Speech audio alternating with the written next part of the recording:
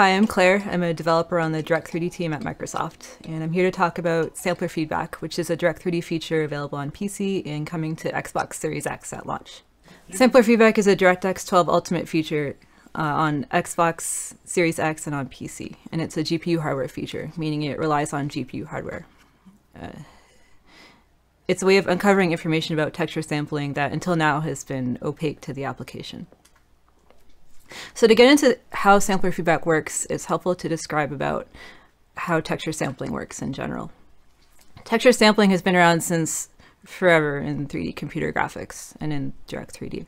When you draw some 3D geometry on the screen, it's helpful to decide what color to assign what pixel, right? That's the eternal problem. And so for sure you can programmatically calculate that if you want to. But sometimes it can be helpful to map a 2D image onto the surface of your geometry. So you might call that 2D image a texture. You might want to perform some interpolation involving values of that 2D image uh, to the facets of the geometry so that it looks good no matter how the surface is angled or where it appears in the scene. This type of practice is so common in graphics that GPUs have been fundamentally designed for it, and this concept as a whole is generally called texture sampling. Over the years, texture sampling has evolved forward to include lots and lots of features. Related to this, textures have MIP levels, which is, you know, like there's a big version of the image for when you need lots of detail, and then there's smaller versions of the image for when you don't need as much detail. And sometimes a sample can decide what MIP level to use based on calculating the gradient of the UV to the neighboring pixel, say, and if the gradient is small, then it's close up, and if it's large, then it's far away, and that way you can get a MIP level as appropriate. And then there's also filtering. When you sample, most of the time you don't just read from one place on the texture and call it good of course. It depends on the visual style of your scenario. If you're aiming for something more retro looking, then you know, you might do something simpler. But most of the time you'll use a type of filtering that does multiple reads and feeds them into some computation and then use like an average or a weighted average or something else that's clever. There are a lot of different filter modes with different complexities. And so you could use, for example, linear filtering, which does four reads, and then takes an average of the four results, let's say it'll look okay, or you could do anisotropic filtering, which does a lot of reads and a bunch of math, and it'll look pretty good. A common thing I hear sometimes is, what's the difference between a sample and a load? Well, a load is just a read from a texture. It's really, really simple and cheap. A sample does way more things than that. There's the possibility of MIP level selection, and a sample has filtering. The takeaway, though, is that because of details around MIP level selection and filtering, and sometimes filtering that has a hand in MIP level selection, samplers are complicated. the details of them are also opaque to you. When you run your shader, you have a sample operation that takes in a UV and gives you back a sampled value. So you know what was sampled that way, but you don't know where. You know, you know you you don't know what MIP level was sampled, and you, more specifically, you don't know where on that MIP level. And most of the time, this is actually fine. Most of the time, you might not care, but sometimes you will. So now that we've talked about what texture sampling is, we'll cover why you might want to know what you sampled. So the scenario of texture streaming. So nowadays, displays are getting larger. That means that textures are getting larger. 4K textures is not something altogether uncommon to be hearing about. And textures take up memory, and the amount of memory you have is finite. You know, that's the eternal computer graphics problem. And so the reality is you might not be able to store 4K MIP zeros, 8K MIP zeros of all versions of all textures in your memory all at the same time. And indeed, it might not even make sense to do that. You know, depends on your scene. If you might be that not all objects in the scene are even visible that use certain versions of that texture. It might be that all those objects are far away. So what do you do when you can't keep full resolution versions of your texture in memory? And well, there what you do is that you don't. You can keep lesser de detailed MIPs resident and then load up the more detailed ones when you need them on demand. You could maybe page out the ones that you don't need in a long time. This is a really um, typical thing to do. So there's a couple different approaches to this idea.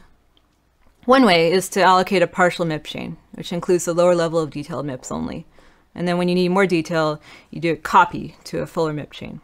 Copy is kind of expensive, but hey, it's for a good cause. It saves memory, so it could be worth it.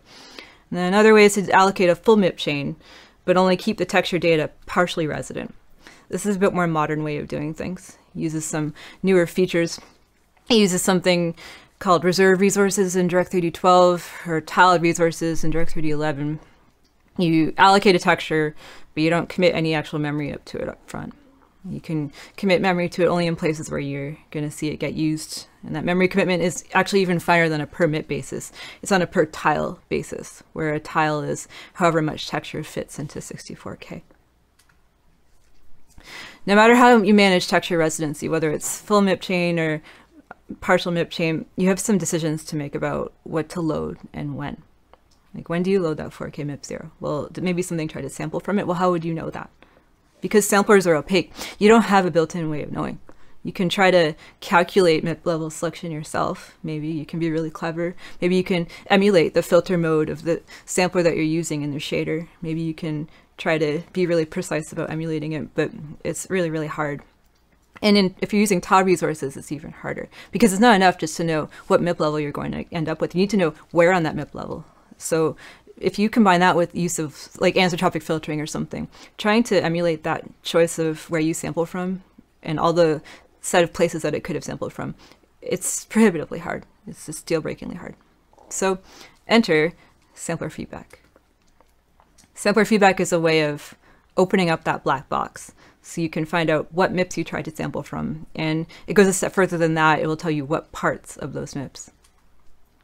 So one thing to know is that sampler feedback is not a complete overhaul of sampling hardware, but it's an extension to it. It's a GPU hardware feature that extends existing hardware designs and gets you something new out of what used to be that closed black box. So putting it all together into a streaming system, you can keep a residency map, which is say some texture which stores uh, a list of what MIPS are resident, and then Aside from that, you can store a feedback map, which contains what's been requested. And so integrating this into your streaming system, you can keep updating your residency map and have that feed into your decisions about what to load next. So we just talked about texture streaming as a scenario. Uh, separately, we'll talk about texture space shading. So texture space shading is a 3D graphics rendering technique. You might not see it everywhere, but it's worth calling it here in this context because it's a technique that can be made more performant with sampler feedback. Texture space shading is a way of decoupling the shading of an object in world space from the rasterization of that object to the final target.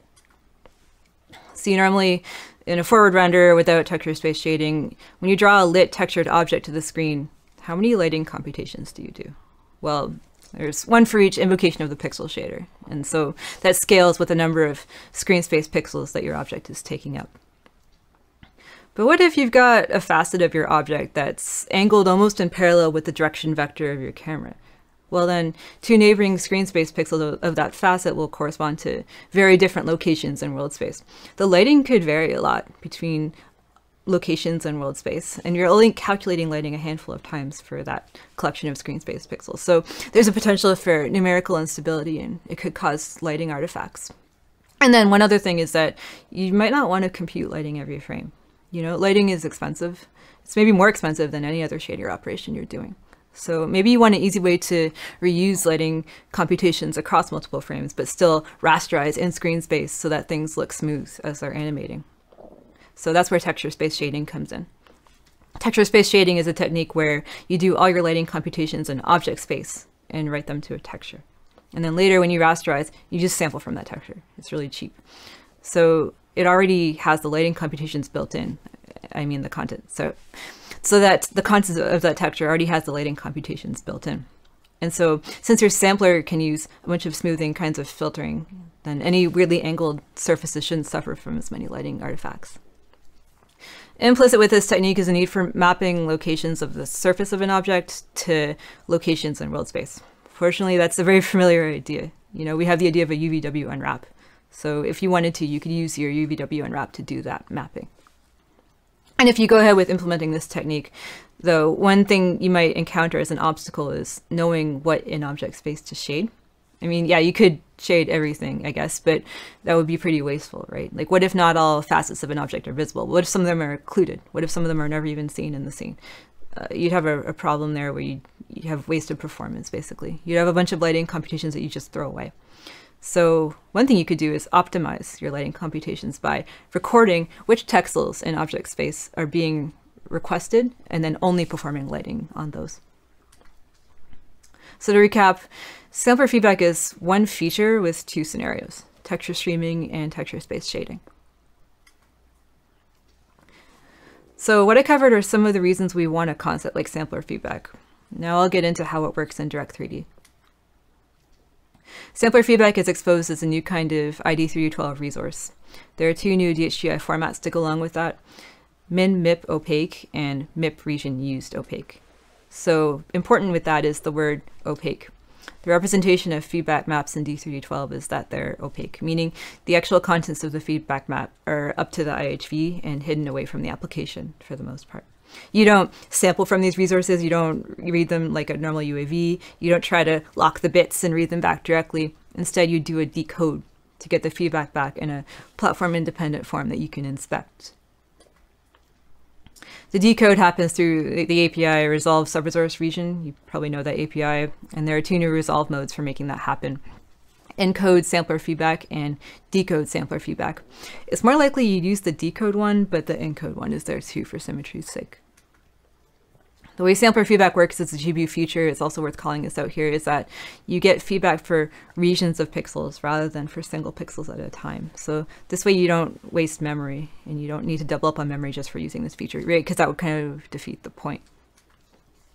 So for MIP regions, what it's such that you can think of one texel in the feedback map corresponding to a rectangular region in the texture that you're writing feedback for.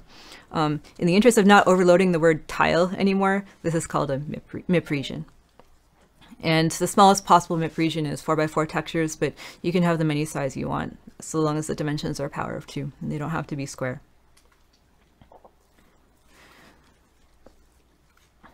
So one tip for integration into your streaming system, if you're using full MIP chain-based reserve resource-based streaming systems, you might want to make the MIP region size the same size as the tile size. And then there are two flavors of feedback map. The first one is called min MIP. It's also, you could also call it min LOD if you prefer that. It stores what's the highest detail MIP level that got sampled. So if something requested MIPS 0, 1, and 3, it'll just store 0. And this makes a lot of sense for a streaming system right? Because if something requested MIP 0, you can just load in MIP 0. You don't care about the request for MIPS 1 and 3 in that example. And then if nothing got sampled, when you decode, it'll just return 0xFF.